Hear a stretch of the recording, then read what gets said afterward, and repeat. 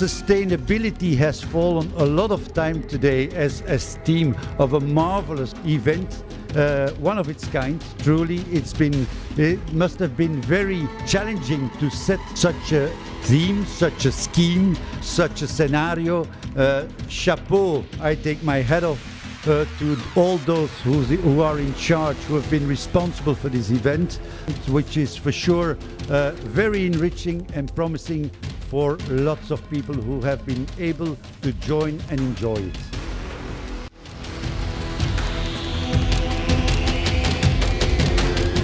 I really enjoyed the speed dating part. I met a lot of people, and it was really like an informal way to quickly catch up and strongly made connections, and that will build and long-lasting relationships. I hope.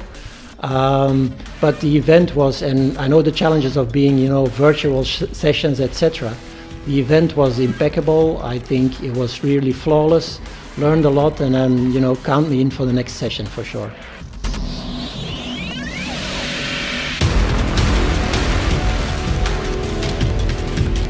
Speed dating, uh, I really liked that feature. I, I, had the possibility to meet people from all across Europe, and um, really it was refreshing, uh, meeting new people. We, we, made good contact. Really, I, I like it, that possibility. Thank you.